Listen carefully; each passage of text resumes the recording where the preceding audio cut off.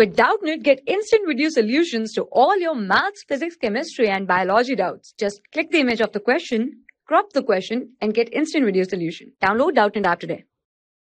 In this question, we have given that in an election, the successful candidate secure 5,77,500 votes and his nearest rival secured 3,48,700 votes.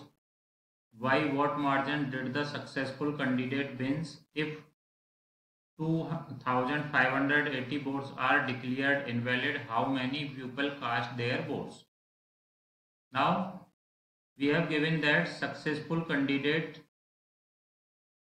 successful candidate candidate secure votes this will be equal to 5 lakh 77,500 now reveal candidate secure boards. this will be equal to 3 lakh 48,700 votes now why what margin? Now we find the margin margin of vote votes to candidate win. Candidate win. This will be equal to this will be equal to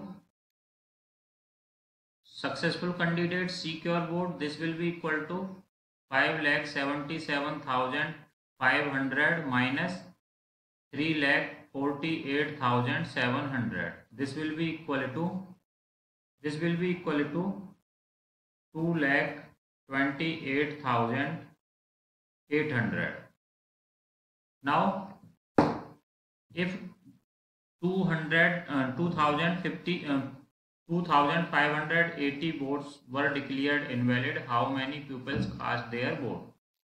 Now, total invalid vote, total invalid votes. This will be equal to 2580 votes. Now total pupil cast their votes. This will be equal to